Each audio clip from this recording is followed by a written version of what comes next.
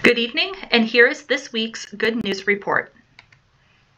Congratulations to PHS junior Jalen Johnson on making the 2023 Indiana Boys Junior All-Star team following a stellar basketball season.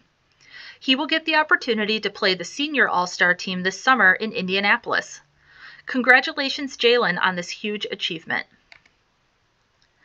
Portage High School English teacher Ms. Jody Newby has been named an Outstanding Graduate Student in Liberal Studies for the Indiana University East School of Humanities and Social Sciences.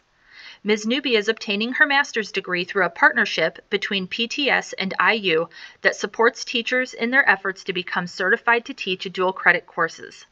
She will be recognized by IU East at their honors convocation later this month.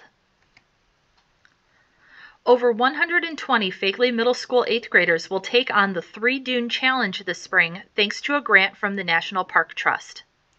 Fegely Middle School physical education teacher Carrie Keitzman will be taking the students in two groups to complete the 1.5 mile Three Dune Challenge trail in the Indiana Dunes National Park. While completing the challenge, students will be cleaning up any litter they see along the trail as well. Our Porta-Botz are returning to the World Championships after a successful performance at state. High School Team B, Big Brained, and Middle School Team M, Maverick, qualified with their successful showing last month at Lucas Oil Stadium in Indianapolis. Additionally, a big shout out goes to Porta-Botz coach Mr. John Kappas, who was honored with the Mentor of the Year award. Congratulations to all. Portage High School sophomore Anna Zurich and senior Kyle Mann have qualified to compete at the Business Professionals of America National Competition in Anaheim, California this month. Both students qualified for nationals following a successful trip to the Indiana BPA state competition recently, with three students placing in the top 10 in four events.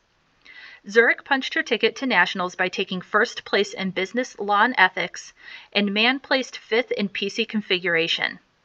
Mann also took ninth place in Cisco programming, and junior Sean Bogseth placed fifth in economic research. Thank you, and we are Portage proud.